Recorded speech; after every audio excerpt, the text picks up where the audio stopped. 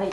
えー、それではあのここからがちょっと本題の方に入っていきたいと思うんですが一体じゃあ同性間のパートナーのパートナーシップというのをどういうふうに考えていくのかということです。で一つまず言いたいのは同性パートナーの法的保障の対象者は誰かというと同性愛者だけではありません、えー、例えばバイセクシャルの人。で今、えー、恋愛の対象が同性であるから同性パートナーであるという人もおりますし先ほどあった性同一性障害の方ですね。例えばもともと男性として体を生まれしかし今女性として生きて戸籍が女性である人が女性の、えー、いわゆる、えー、生まれた時から戸籍が女性の人と恋愛をし共に住んでいればこの人たちも同性パートナーの法的保障の対象に入ってきます。ですので同性パートナーという概念は実はあの同性愛者だけには限らないものだというところを一つ、えーと、念頭に置いていただけたらなと思います。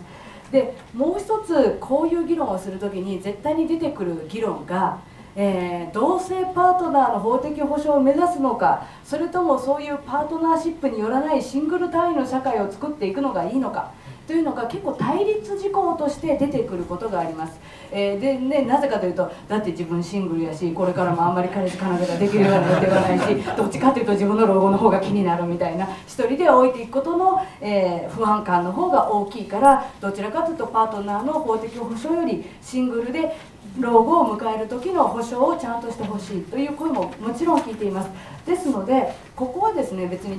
対立ではないと思うんですね。パートナーの法的保障を選んだらシングルで生きる人たちがしんどくなるということではなくてパートナー同性パートナーと生きる人たちも自分たちの権利が保障される。そしてシングルで生きる人たちも、えー、安心して生きられる。これは両両方あるのがいいんじゃないかなと思いましてなんかよくねあの踏み絵を踏まされるみたいな、え感じがあるんですけれども、えここに関しては両方必要だと私は思っています。っていうところがまず同性パートナーの法的保障の問題ですじゃあこの同性パートナーの法的保障をこれから実現していくために私たちにできることはどういうことなのだろうかということについては、えー、先ほど言ったレインボートークの中でもいろんな議論、えー、いろんな提案がありました。えー、その中でうまくまとめていただけたのが、えー、早稲田大学の棚村先生という、えー、先生いらっしゃいましてこの先生ちょっと事実婚もやってた、ね、あの弁護士さんで、えー、法律あの学者学者。さんですね、はい、えー、学者さんなんですけれども、えー、棚村先生が、えー、3つの方法があるんじゃないかということを、えー、言われました、えー、1つは公正証書を作りなさい公正証書というのは2人の関係を契約として、えー、交渉人役場というところに行って、えー、契約を交わすということですね。でこれは実際同性パートナーの人もやってる人がいます。え、どういうことかというと先ほど言ったお葬式の時に自分は一体どこに座るんだという問題について自分が何かがあった時、えー、お葬式は自分のパートナーにしてほしい。再起権というんですけれども再建を自分のパートナーにあのパートナーにするといったようなこととか生命保険の受け取りのことを、えー、自分のパートナーにするとかですね。いろいろなことを、まあ、契約をしよう。そしてそれを第三者のもとで有効な契約書としてやっていこう。ということをまずした方がいいんじゃないかということを提案を受けています。でただですねこの公正証書については2人の関係を契約にしているだけでそれを周りが認めるかどうか分かんないんですよね。だから周りが2人でやったことでしょと。それは私たち関係ないわって言ってしまえば終わりなわけなんです、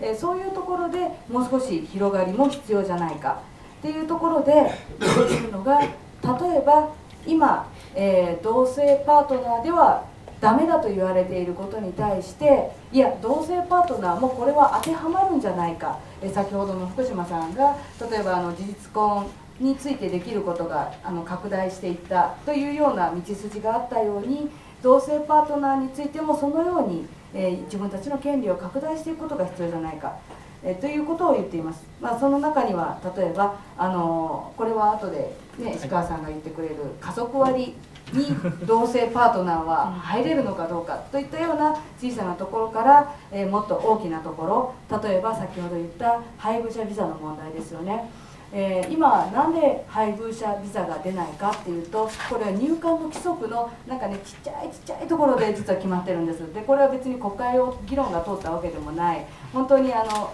まあ言えば役所の人が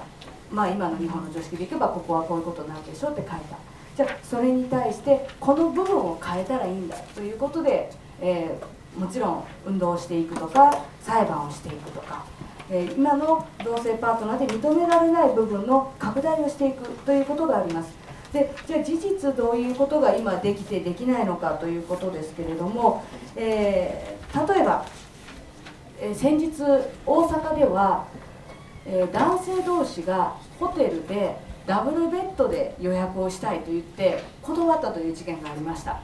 えーこれは、えーまあ、明らかに理由がないわけですよね。異性愛者がダブルベッドを使える。異性愛者の男女がダブルベッドを使えるのになぜ同じ料金を払う？同性愛者が、えー同性同士でダブルベッドを使えないのか。で今までだったらこういう事件は多分多々あります。本当に同性だったらダメだということで断られた事件は多々あるんですがこの人が偉かったのはそれはおかしいんちゃうかということを思ったんですね。宿泊拒否って確かしたらあかんはずやと。